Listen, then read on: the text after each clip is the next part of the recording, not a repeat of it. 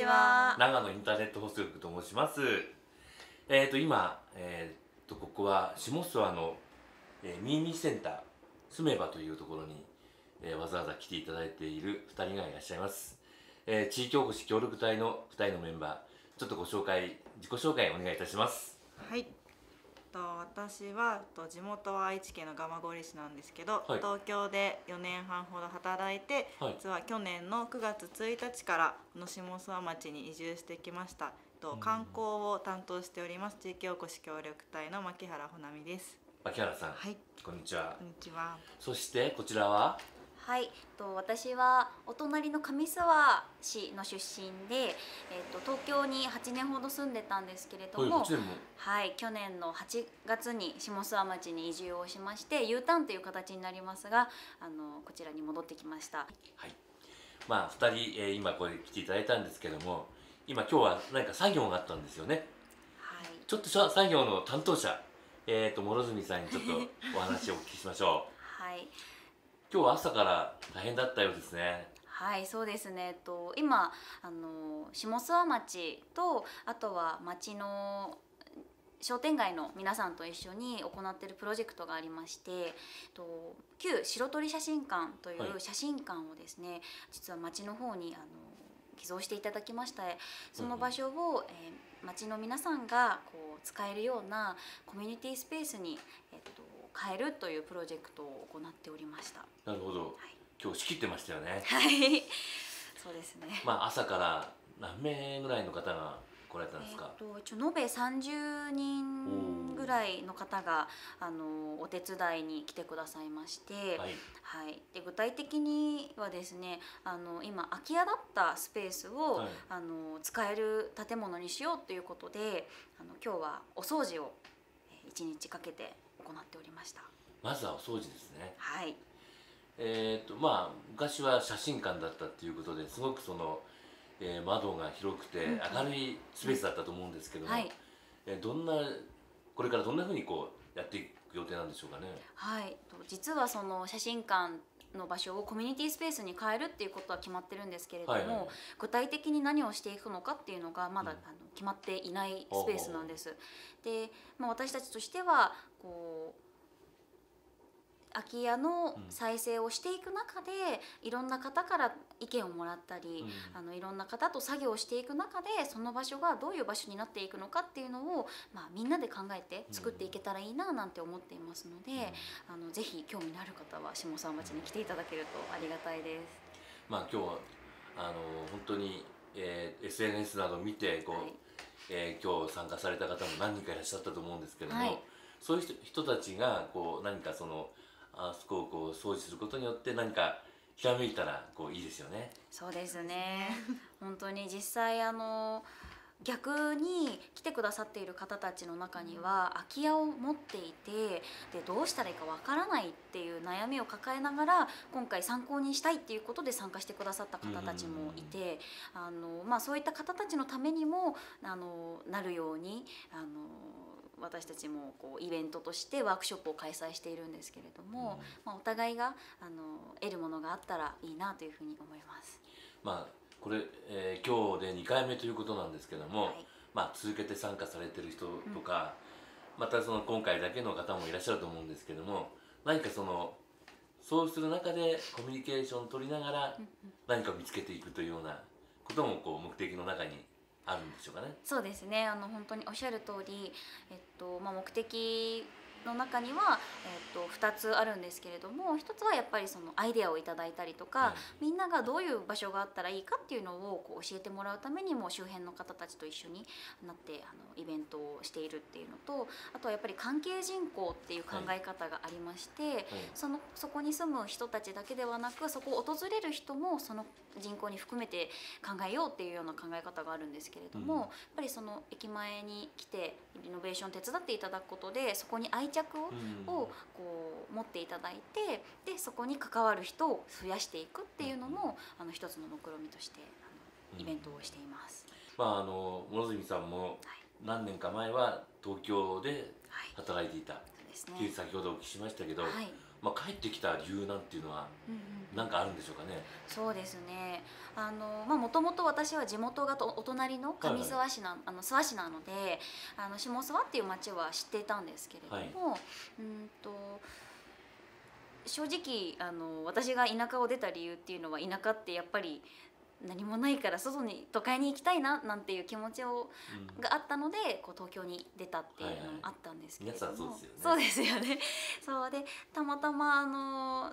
東京での仕事を辞めてどうしようかなって迷ってた時にこの下諏訪町の地域おこし協力隊の募集を目にしまして。で私はそもそも協力隊っていうのがどういう仕事なのかっていうのもわか知らずに、はいはいはい。あのいたので、まあ、ええ。ちょっと調べてみようと思って、うん。下諏訪のことを調べてみたんですね。そしたらすごくあの面白そうだなっていうようなことがたくさんあって、はい。実際こう、うん。今日今携わらせていただいているこうものも含めですけれどももともと空き家だったところとか古いものを新しく新しいスペースに変えて使っていこうっていう試みだったりあのそういったものがとても面白そうだなと思ってあのこっちに今戻ってきたうん次第です。なるほど。ありがとうございます。はい。そしてこちら、えーはい。牧原さん。はい。牧原さんも東京に、えー何年か前にいらっしゃって、はい。まあ縁あって諏訪の方へはい。来られたということなんですけども、じゃあまずはその来られた理由なんかをちょっと私と大学があの、はい。一応愛知県の地元のと名古屋なんですけど、いはいはい。あのデザイン系の学校に通ってまして、うんまあ、その時にグラフィックデザインをやっていたんですけど、うんまあ、4年間やる中でなんかグラフィックデザインをやるよりかは、人と人の交流ができるコミュニティデザインをすごい学びたいなっていう思いがコミュニティデザインっていそうですね。結構今もうメジャーな言葉にはなってるんですけど、は私が在学中の時はなかなかその浸透性がない言葉だったので、まあ、グラフィックなのになんでそういうことやってんの？とも言われていて、でもそれをやりたかったので、まあ、4年間を経てやっぱ私はこういう人と人のつながれる空間が作りたいなっていうのに結論が出たので、その時にもう地域おこしっていう存在はしてたんですけど。でもやっぱそのいきなり地域おこしっていうのは社会人になってちょっとハードルが高いなと思っていてまずは何か新卒を利用してじゃないんですけど、うん。どっか思いっきり東京とか行っちゃえっていう勢いがあったので、まあ、人と人をつなぐって何が大事なのかなって思った時が食だったんですよ。で私が4年間かけて食だなっていうのに行き着いたんですけどやっぱデザイン勉強したり学校通う中であまりバイトとかもできなくて。自分って食に関して何にもやってないなっていうのに4年目で気づいてしまったので、はいじゃあせっかく東京行くならもう飲食がっつりやってる会社で、まあなおかつコミュニティデザインというか人と人のつながりを大切にしてる会社に行きたいなっていう思いがあり、たまたま先輩がここいいんじゃないって紹介してくれた、あのホームページがあり、はい。そこの会社の教訓を読んだらもうすごい今の考えに一致して4年半カフェをやってました。グラフィックデザインっていうとなんかその地図、えーなんか絵で絵文字で描いた地図っていうこうイメージがあるんですけどまあそういったこともまあたまにはやるんですか今は？今一応と私と諸角さんが移住定住で、はい。私が観光になるんですけど、ええ。まあ一括りにしてしまえばあの地域おこし協力隊なんで一つの組織ではあるんですけど、やっぱ移住と観光で目的としてるターゲットが一緒のようでやっぱ違うので、なるほどなるほど。そこがちょっとうん、違いがあるんですけどなので移住の方はやっぱ住んでもらいたいから空き家をどうするかを考える、で私はそもそもの観光に来てくれる人なので移住の手前というかまずはこの街を知ってもらおうっていうので発信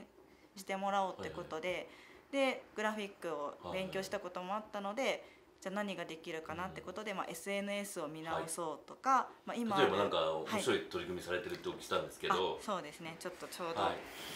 あるんですけどこの「下諏訪トリップ」っていうのを検索していただけるとはい。出てくるんですけど、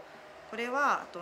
下諏訪町にはパンフレットとかガイドブックが結構何種類もいろんなのがあるんですけどどなるほど。なかなかどれ選ぼうとかあこれもこれもってなるとうん手一杯になっちゃって、はい。うまくこう行けなかったりはい。あとまあ定休日もあったりしてあここ行きたかったなとかっていう思いも街の人から観光客の人からも聞いたり、まあ、私も実際下諏訪来た時に行きたかったお店がまあお休みっていう情報もうまいことパンフレット持っててもまとめれてなくてうん。悔しい思いをしたこともあったのでちょっとなんか2 3 0代の人をターゲットにこれから住んでもらいたいなっていう思いも込めてうん発信力がある世代をターゲットにしたはい。インスタグラムを本当に去年の11月1日から開講して去年の？はい。じゃあさねまだ。始まったばっかりですね。始まったばっかりです。なるほどなるほど。なんですけどもう今すでにえっと200人以上フォロワーさんがついていてへ当初はもう周りの近くの方がフォローしてくださったんですーけど、あの今だともう100名ぐらいは多分たまたまハッシュタグを使ってうん。はい。検索して見つけてくれた方が、あのフォローをしてくださってるのが分かったので下諏訪トリップです。下諏訪トリップ。あ。下諏訪旅っていう意味を込め旅てはいと英語でアンダーバーが入っちゃうんですけど下諏訪トリップで検索していただけるとうん。出てきます。あと下諏訪町地域おこし協力隊ってやっても多分あハッシュタグとかで出てくると思います。でこれは主にあの食事人イベントと歴史とお店との泊まる。でこれもう一つ実は加わって温泉も加えて一応カテゴリーには分けてるんですけど下諏訪町は人がすごい皆さんいい人たちばっかりで私たちだけ知ってるともったいないし、はい。もっと多くの人に知って温かさを共有したいなって思いがあったので割とカテゴリーに分けるんですけど人メインで。でその時にあのグラフィックデザインを生かしてあの手書きで文字を書いたりイラストを書いたり分かりやすく興味があるようなページをレイアウトデザインしてます。まあ、全国を旅してる牧原さんだからこそそのゲストハウスとかも行ってその中でもツアーを選んだってことなんでしょうかね。そうですねはい。何がきっかけだったんでしょうか。何がこうポイントっていうかやっぱりなんか他人なのにはいすごい気にかけてくださるというか、あー。ほっとけない両親が伝わるんですよ。えでやっぱりたまたまその東京にいたこともあったので寂しいなとかなんかお話ししたいなって思った時にお話を聞いてくださったり、どこ行くのって歩いてたら声をかけてくださったり、うんなんか何かやっぱ自分を気にかけてくれる人がいてそれを気にしてくれてるってすごい街だなって思って絶対行こうって思います。まああったかいあったかい、いですね。まあ温泉もありますけど。と なんかても。そうだね。心も体体もも温まる。温まる。下諏訪です。なるほどなるほど。まあうまくまとまったところで。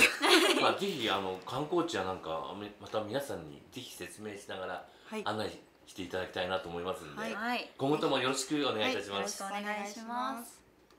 今日はありがとうございました。ありがとあうございまし。た